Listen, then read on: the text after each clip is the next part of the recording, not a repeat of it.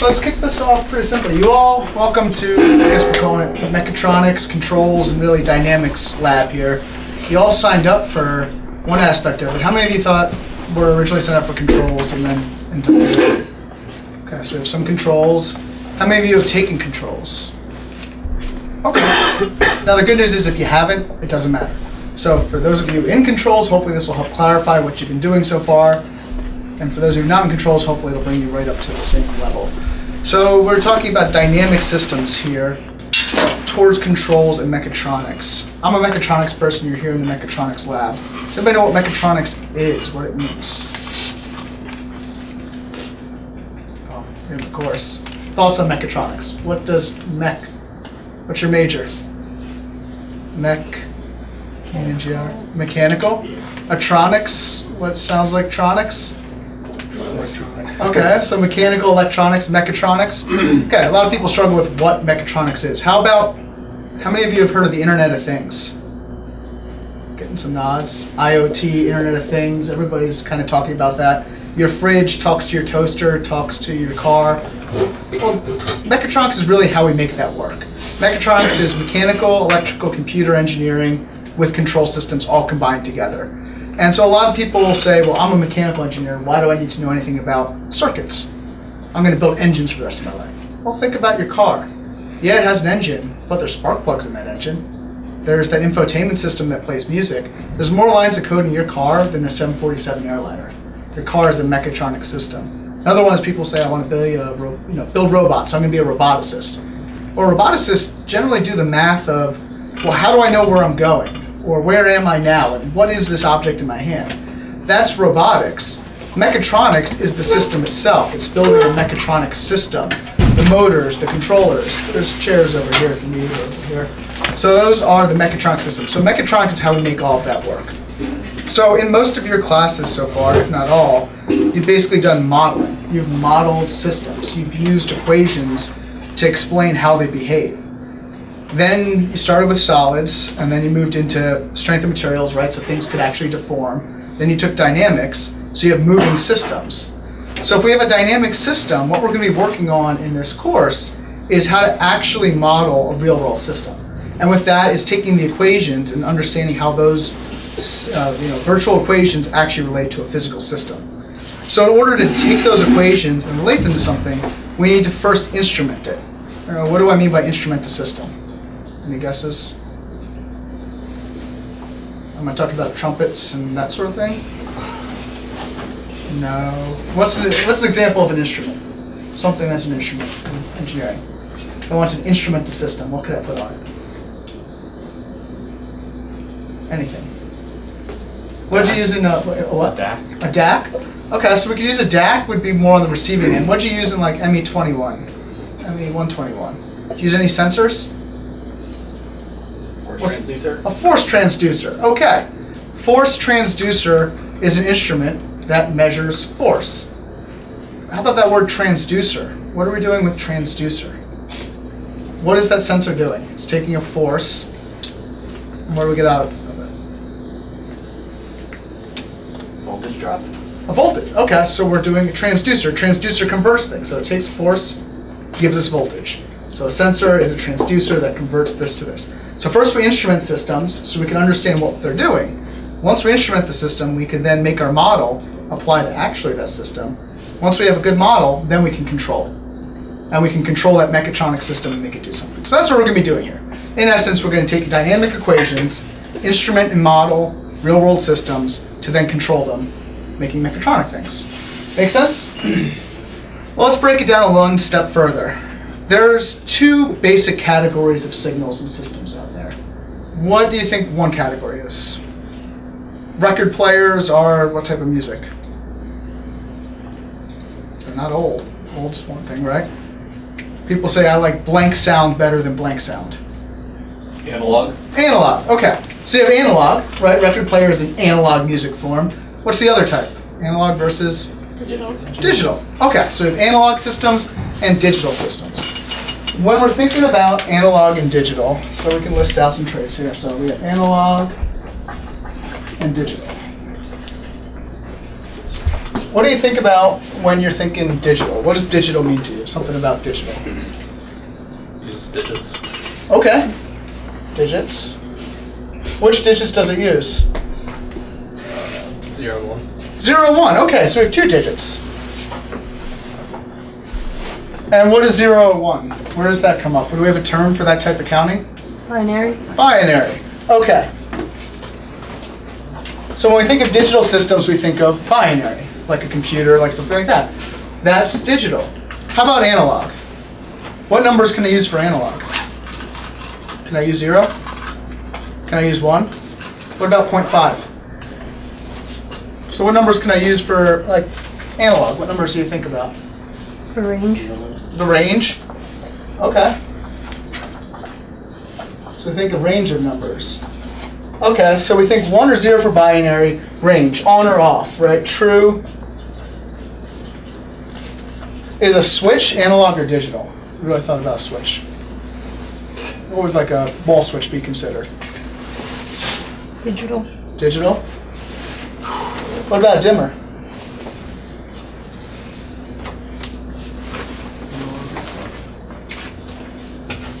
We're saying we could have a range of values. We could be anything. How about with time? Anybody know anything about like discrete time? What do we think discrete time versus continuous time is? Let's go back a little bit to calculus. Do computers use continuous time or discrete time, do you think? Discrete. Discrete. Okay, so we can say digital is also discrete. We have discrete values and we have discrete time. So it's time one, two, three. Analog we can always think of as continuous. And when we think about math, we can take the derivative of continuous functions, discrete value, versus discrete functions is a whole other thing.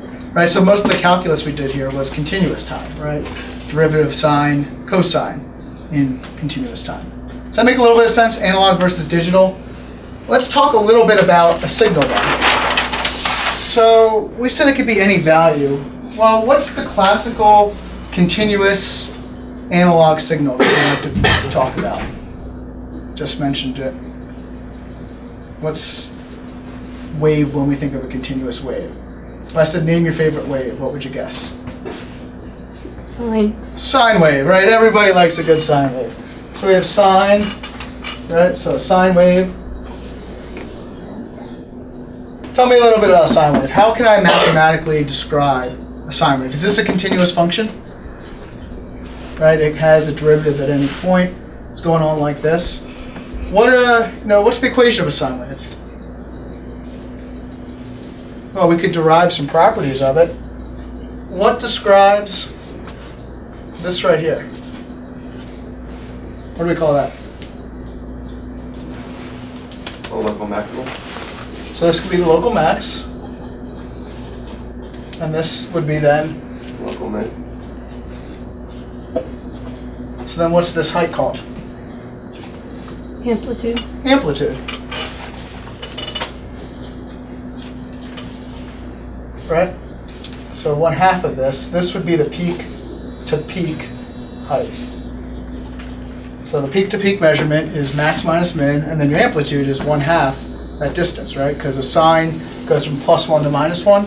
So its peak to peak is two, but its amplitude is one. How about from that point there to the same point over here? What is that defining? Period? In seconds. Or what else could we call it?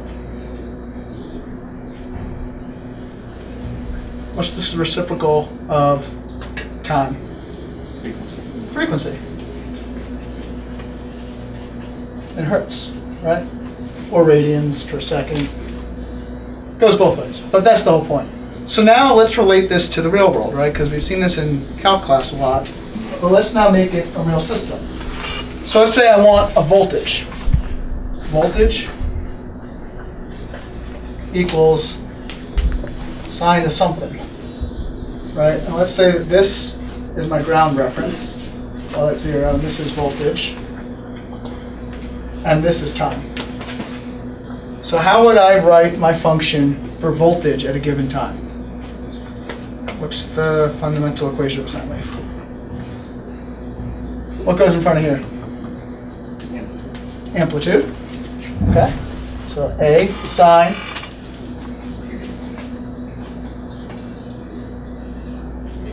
omega t plus phase shift. Oh, Are we missing something over here? If this is zero volts, what do I call this right here?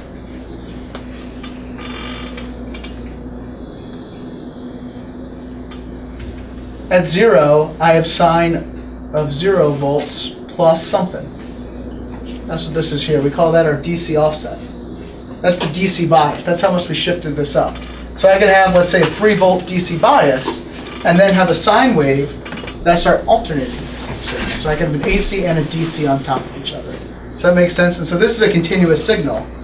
Whereas if I were to then make this discrete, right, your computer can only think about it in discrete times, where this is some delta t, and this is some delta v, right? And that's how you kind of do things in MATLAB and all, right? So continuous, but we can make it discrete, and that's how the computers all approximate that.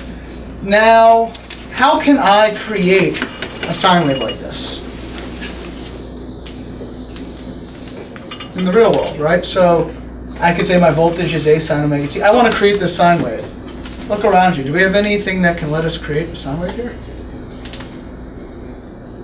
Have you ever, maybe in circuits lab, you created a sine wave? What'd you use to do that? Okay. How about a function generator? This thing right here. This thing here lets me create different waveforms. So I have it set to a sine wave. You could do triangle, you could do square, you could have it just do a DC. So I have this set to sine wave. Now, I need to be able to measure. it. What am I looking, what's this spell guy called? I know you've seen this before. Oscilloscope. Oscilloscope, right? They're the scariest things ever. They always scare the heck out of me. So my goal today is to get rid of the fears of using an oscilloscope. Because this is one of the most handy tools you can have when you're looking at circuits, when you're looking at signals to understand what's going on. So to do that, we're going to use our signal generator and our oscilloscope. What does an oscilloscope do?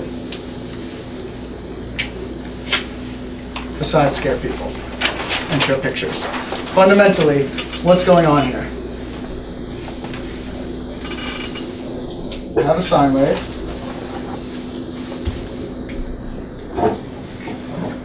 What's this axis? I'm showing a sine wave on the oscilloscope. What were we saying with our equation? V is sine plus V plus DC. What's the y-axis of this plot? V. V? voltage. Okay. All right, so we have voltage. And what's the x-axis? Time. That's exactly what it is. An oscilloscope shows you a snapshot of a signal, voltage versus time. So voltage here, we have time here as we go across. All right, we're taking a little picture. So I can adjust the frequency on my function generator here. I can assign, uh, adjust my amplitude. So I can increase its amplitude, decrease its amplitude. So look at an oscilloscope as something that takes a picture, takes a snapshot. And so my different adjustments are I can adjust my voltage per divide. And when we look at an oscilloscope, we call each one of these squares a divide. So I have from the center one, two, three, four, five divides in each direction. And I have one, two, three, four, five, six, seven and a half divides horizontally. So I can adjust my voltage per divide, which means right now it's set to 5 volts per divide. So this would be 5, 10, 15, 20. And they, they made this into five smaller categories. So you can go 5.1, 5.2. So I can adjust my voltage per divide, which adjusts how big the signal is. So if I decrease the amplitude, I can fit things in. So this allows me to change the scale which I'm measuring. There's also a vertical position knob, which shifts your signal up and down. So if I wanted to measure the amplitude of this signal right now, I were to make my math really easy. Right now it says I have two milli, 200 millivolts per device. So that would be 200, 400, 600 millivolts peak to peak. So that'd be a 300 millivolt amplitude. So that's how we adjust the Y direction. The other knob is seconds per divide. So what that does is it adjusts the time each one of these is going for. So I can adjust this to let's say one second per divide all the way down to one millisecond per divide. One millisecond per divide. What's the frequency if a signal takes one millisecond to do a full cycle? What's my frequency there? One over a thousand is a millisecond. One over one over a thousand is kilohertz. One thousand. Right? So we can determine what our frequency here is, and again, we can shift it horizontally to make our math easy. So today we're going to be creating a one kilohertz signal. So what I can do is I can set my seconds per divide to one millisecond, and I can adjust my frequency until, and again, I want to make my life easy, so I can shift this over such that it lines up. And now I can tweak this so it takes one divide to do one cycle. And then I can also sheet over here and see I'm at 929 because this is a digital one, and we can tweak it. But you get the essence here of what we're going for. I wanted exactly one kilohertz there, shift it over. Now we can make the image bigger so it's even easier to see that right now I'm at 200 microseconds per divide. So one, two, three, four, five. That's one kilohertz right there. Now, what happens, and this happens a lot, this is probably one of the things that everybody sees on an oscilloscope, and they just see it freak out. Well, let's say you're photographing a race, right? And so you're trying to get the photo finish there. How do you know when to take the picture? How could you set up a system that would take a picture the moment somebody crossed the finish line? Conceptually, what would you do? What could I set up? What would a sensor that the moment somebody crossed the finish line, it hits the trigger. Well, that's exactly what we're doing here, right? Because we said that this is a snapshot right now that is, what do we say, about three milliseconds long of what's going on with that signal. But we have what's called the trigger. And as I turn this trigger level knob, I'm adjusting the level. And you notice as this goes up, the signal's shifting back and forth. Because what I'm doing is I'm setting the voltage at which I want to take a picture. So that's why we call it the trigger voltage or the trigger level. I need to make sure that my trigger level is within the constraint of what my signal's hitting. Just how I have to make sure I aim the camera and the sensor at the finish line because I know they're going across it. That's the same thing here. So your trigger voltage determines how that picture is taken. And then you can shift it horizontally. So whenever you see an oscilloscope freaking out like this, it generally means that your trigger is not in the middle of the signal. So again, you just adjust the trigger voltage until it's within the signal and you're all good. Now another thing you're going to look at is I have two types of coupling. There's AC coupling, and another option is what's called DC coupling. I go here and I can go to DC. The signal drops off. And I can bring it back up. So if we look at our signal, out.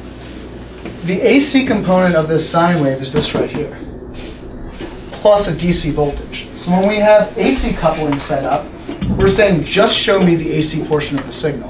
DC coupling says show me the shift up. So if I look at just the AC, and I go here and go coupling AC, it shifts it down. And if I hit ground, that means I'm setting my ground voltage to here zero. So show me the AC component, the DC coupling of the signal there too. So we have the two different types of couplings. So it depends on what you're trying to look at, which coupling you want. So keeping this on DC. Now my goal, what we're going to do for these first three labs, is I'm going to go over a theoretical component like this, and then you're going to do a couple of experiments to actually understand it. And then come the fourth day of class, that's when we're going to actually go over our interview and all that stuff. So my goal is to kind of take the first three days, to introduce you to the concepts and then introduce the lab, and then we'll go back to the other way you did 207, where it's kind of like walk in and do everything yourself. So my goal is to catch everybody up on this equipment. So to do that, our goal for today is you're going to create a one kilohertz, two volt peak to peak. Notice that with a 1.5 volt DC offset. Create me a sine wave using your oscilloscope and your function generator. That's one kilohertz, two volt peak to peak with a 1.5 volt DC offset. Show it to us on the oscilloscope. Show us how you know you got that right by using the different settings here. Show us that you have both the DC offset and your amplitude is two, two volts peak to peak. And then you have a quick homework assignment since I know probably most of you didn't play with MATLAB all spring break and I can't make, uh, blame you for it. What I want you to do is plot for me in MATLAB this same side right here. Create that in, in MATLAB. Then I also want you to, over top of it, sample it at 20 kilohertz. Right, so we're gonna do pseudo continuous plotting in MATLAB. So it looks something like this with these parameters here. And then I want you to sample it at 20 kilohertz. All this on CourseSite. I put the schedule up for the whole half of the semester on CourseSite already too. These numbers are on course site, so you can log in and do it. We're gonna be working in groups of two or three for the whole lab here. So you don't have to pick your actual lab mate for the actual experiment until the third day. So today is just whoever you're sitting near. In each lab station should be one of these boxes that has some equipment. If you do not have one of these, what we call BNC to BNC cables, this is a BNC end, they're all hanging over here on the wall. Any questions before we get started? So again, just get that sine wave up, show Colin and myself, and then work on that MATLAB, and I'll see you here on Thursday. Thanks.